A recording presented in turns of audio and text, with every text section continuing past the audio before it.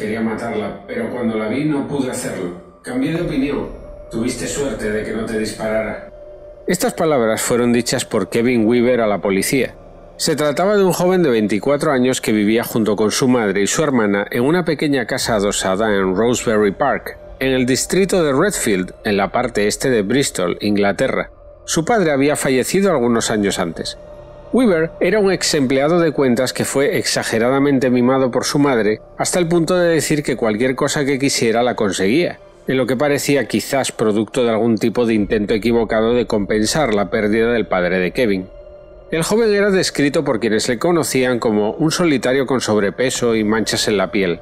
Weaver no había tenido trabajo durante años y en cambio vivía de los suculentos ingresos de su madre, que estaba empleada como asistente de taquilla en el cine hipódromo.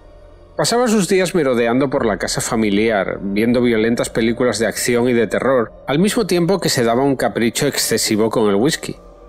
Kevin era un fanático de las armas de fuego y de la supervivencia, y tenía en su poder muchas armas que su madre le había comprado y algunas que había encargado por correo. Tenía licencia para portar una escopeta y era miembro de un club de tiro al plato cercano. Weaver no siempre había sido tan apático, pero su vida parecía haber ido cuesta abajo desde 1985, ya que desde entonces había estado enamorado y su salud mental se había deteriorado.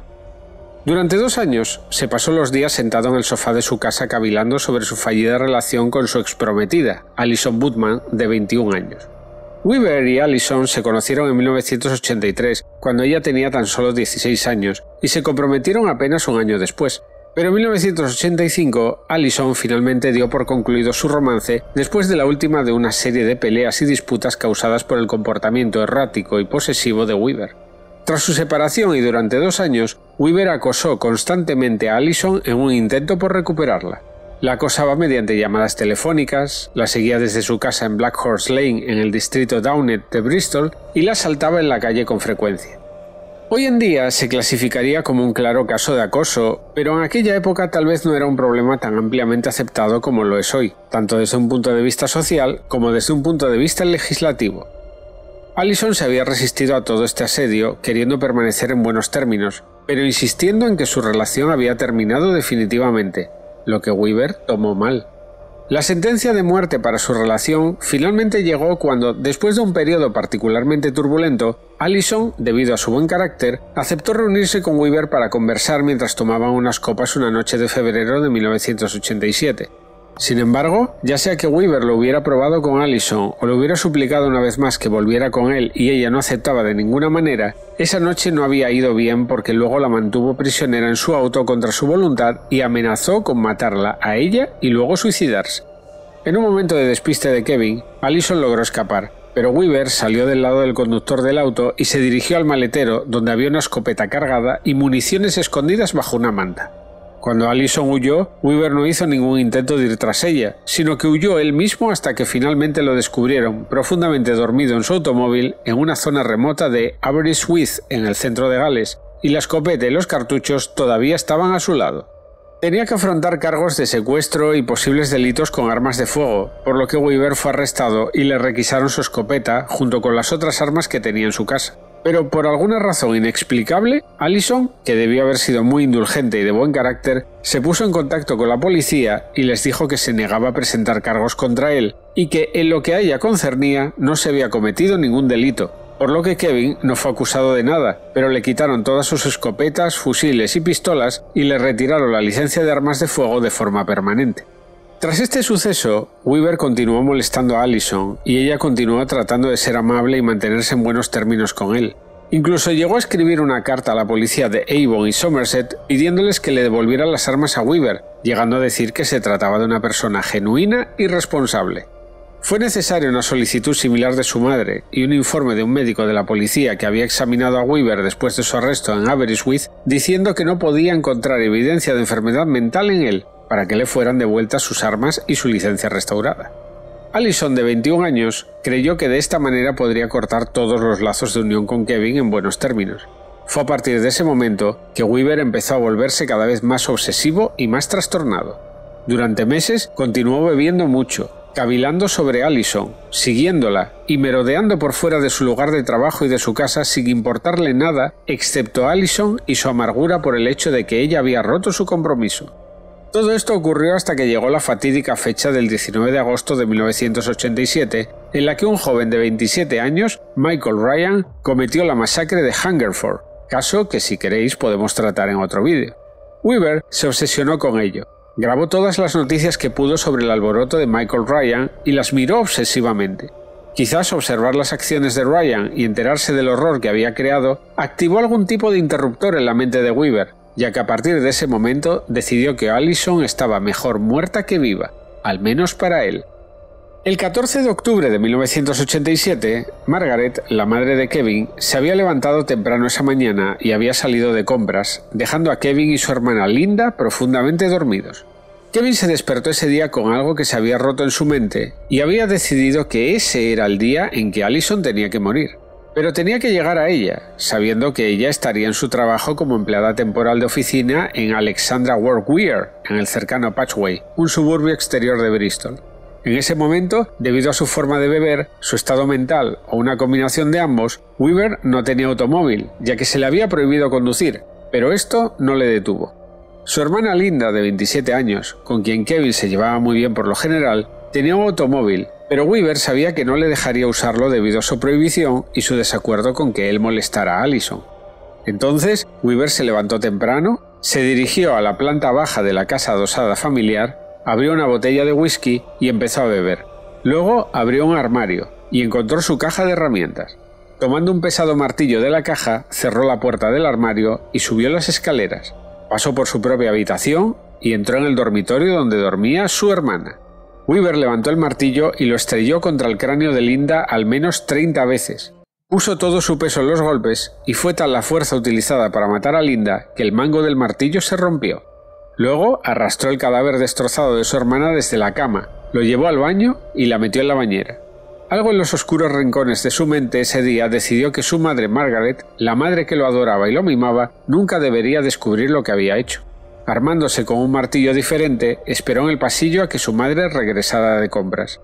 Margaret llegó a casa justo antes de la hora de cenar, después de haber comprado algunos pasteles para el almuerzo para ella, Linda y Kevin. Es imposible imaginar los pensamientos de Margaret cuando abrió la puerta y entró en el pasillo para ser recibida por su hijo, cubierto de sangre y empuñando un martillo. Pero afortunadamente solo habría sido un pensamiento fugaz. Weaver se escondía detrás de la puerta del pasillo y luego procedió a matar a golpes a su madre con la misma rabia maníaca con la que acababa de matar a su hermana, golpeándola una y otra vez con el martillo. Acto seguido, llevó a su madre escaleras arriba, colocó su cuerpo en la bañera encima del cuerpo de su hermana y luego llenó la bañera con agua. Después, Weaver lavó tranquilamente su ropa manchada de sangre, la secó en la secadora y se vistió como si nada hubiera pasado. Además de la ropa que llevaba cuando cometió el familicidio, Weaver se puso un chaleco antibalas de la marca Armalite que había comprado unos meses antes y ahora iba a ver a Allison. Kevin volvió a ir al armario debajo de las escaleras y salió con una bolsa de golf en la que colocó una escopeta de 12 calibres de fabricación italiana, una escopeta de 12 calibres de fabricación rusa, una escopeta recortada de fabricación española y cientos de cartuchos de munición. Luego, emulando las acciones del asesino Michael Ryan, Weaver encendió todos los aparatos de gas de la casa y colocó una mina detonadora en la parte inferior de la mesa de café de la sala. Después salió de la casa, llevando la bolsa de golf, una botella de whisky y una botella de limonada. Colocó todo en el sedán blanco de su hermana y condujo aproximadamente 9 kilómetros hasta el lugar de trabajo de Allison. Al llegar a Alexandra Workwear, poco tiempo después, Weaver sacó de la bolsa de golf la escopeta de acción de bombeo de un solo cañón de fabricación italiana y varias rondas de munición. Luego cargó completamente la escopeta y entró a la fábrica, dirigiéndose a la sala de computadoras porque sabía exactamente dónde trabajaría Allison ese día. Weaver la encontró en su escritorio, rodeada de sus colegas, y la vista de un hombre armado acercándose a su escritorio causó conmoción. Había casi 30 personas en la oficina y la charla y el bullizo habituales de la oficina cesaron. Algunas personas rompieron a llorar mientras que otras se quedaron paralizadas por el shock. Sin embargo, Weaver no se dio cuenta de nada excepto de Allison, y cuando llegó hasta la joven, la agarró por la muñeca y le dijo Vamos, Allison, nos vamos, tú vienes conmigo. pero Allison gritó y se separó, corriendo hacia el otro extremo de la sala en un intento de ponerse a salvo. Al escuchar la conmoción, el gerente de oficina David Parcell, de 29 años, salió de su oficina lateral para ver qué estaba pasando e inmediatamente entró en acción. David era un ex policía y tal vez todavía tenía ese instinto de acción o naturaleza heroica, por lo que inmediatamente se dispuso a desarmar a Weaver. Kevin, sin embargo, fue solo una fracción de segundo demasiado rápido para él y al apuntar disparó a David en el hombro desde corta distancia. Esto provocó una herida horrenda y David quedó tirado en el suelo gritando de dolor. Posteriormente, Weaver se acercó tranquilamente a él y le disparó de nuevo a quemarropa, matándolo instantáneamente, para luego comenzar a disparar indiscriminadamente por la sala. Un disparo atravesó la pared divisoria de una oficina y alcanzó en la espalda al contable John Peterson, de 48 años, hiriéndolo mortalmente. Poco tiempo después, John fallecería en la ambulancia que lo llevaba al hospital. Para entonces, el resto del personal en la sala estaba escondido debajo de sus escritorios y, atreviéndose a mirar, vieron a Weaver recargando su escopeta y luego acechando a Allison. Se detuvo junto a ella, preparó el arma y le apuntó a la cabeza. Allison miró a Weaver esperando que la matara en cualquier momento, pero nada. Había cambiado de opinión y afirmó tras su captura que de repente se dio cuenta de que no podía matar a Allison porque todavía la amaba. Entonces alteró ligeramente su puntería y disparó al suelo junto a ella. Aún sosteniendo la escopeta, él simplemente le dijo Este es tu día de suerte.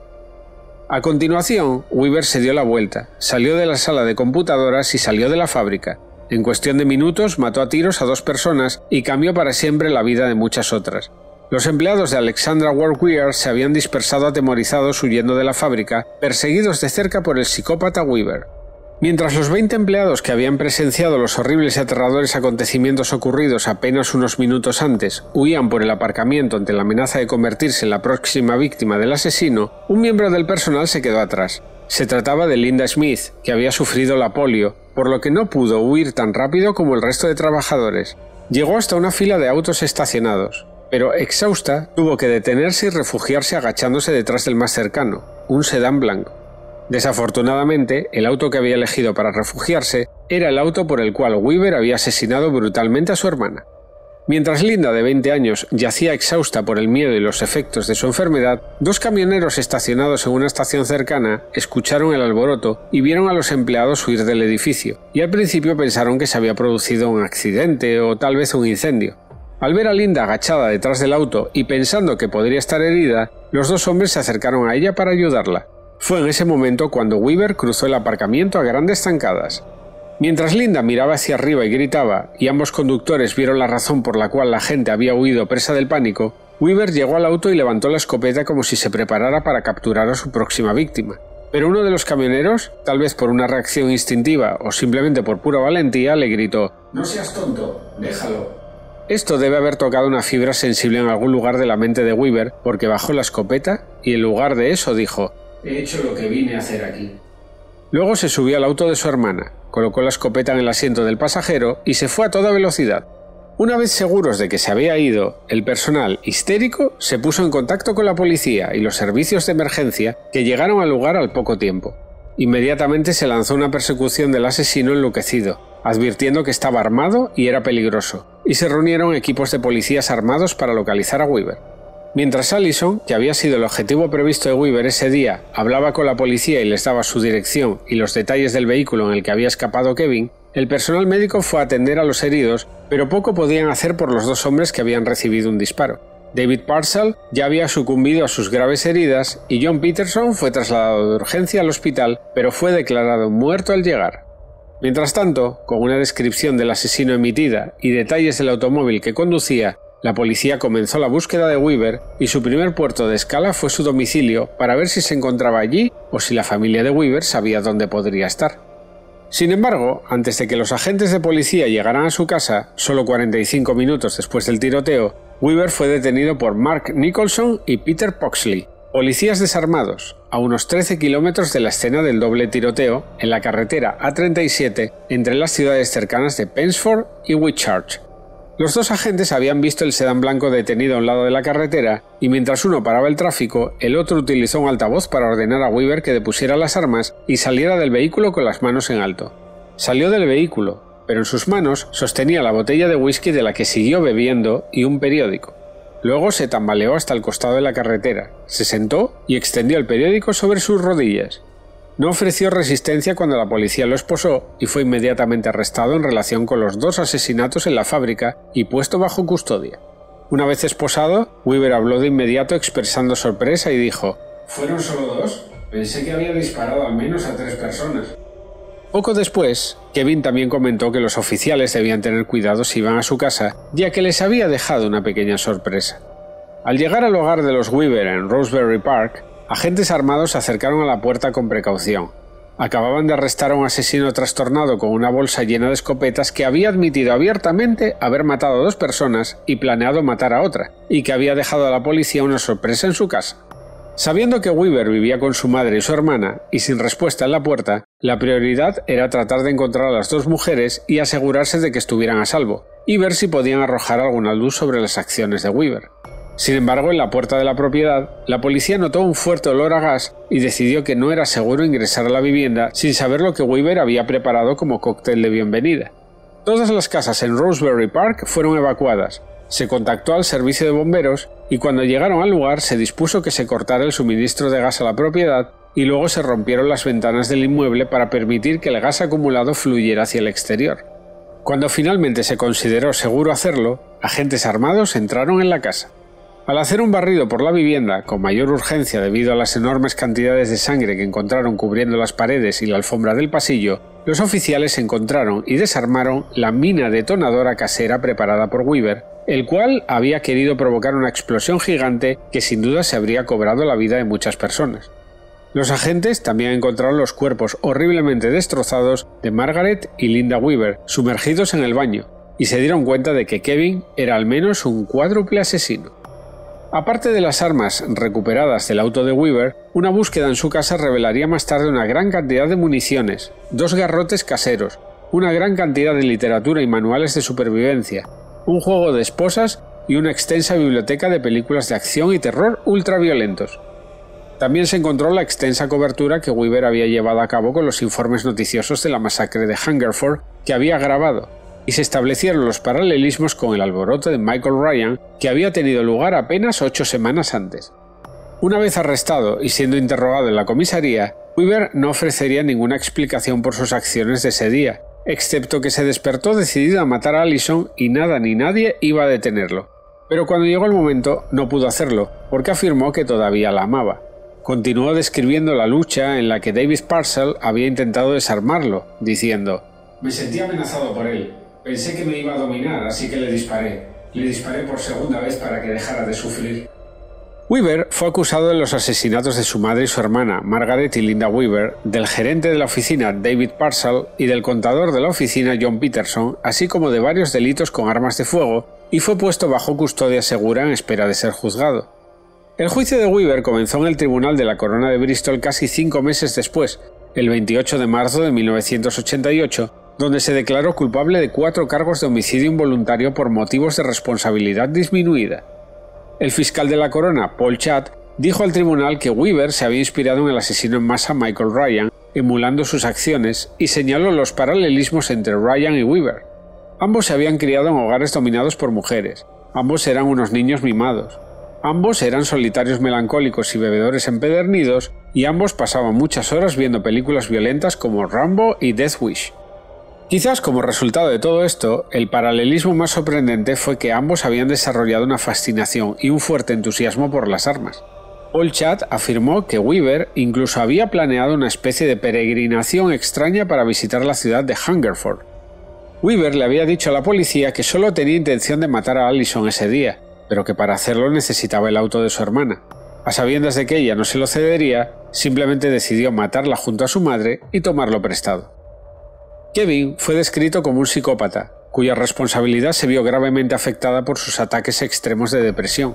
Esto fue aceptado por el tribunal y Weaver se enfrentó al juez Webster, quien lo condenó a ser internado en el hospital psiquiátrico de máxima seguridad de Broadmoor por el resto de su vida, etiquetándolo como un peligro terrible para el público en general.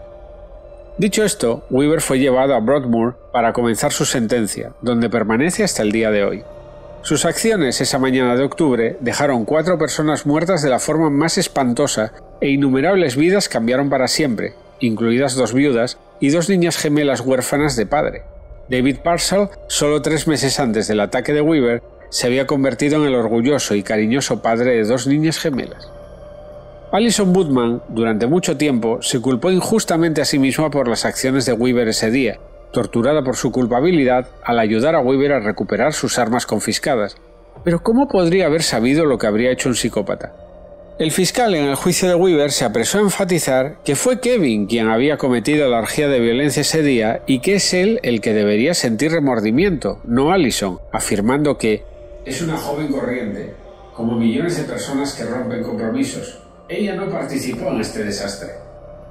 El superintendente jefe detective Ray Sarkinson, quien dirigió la investigación sobre el alboroto de Weaver, diría de él más tarde es un asesino frío y despiadado que infligió algunas de las peores heridas que he visto en 25 años de experiencia.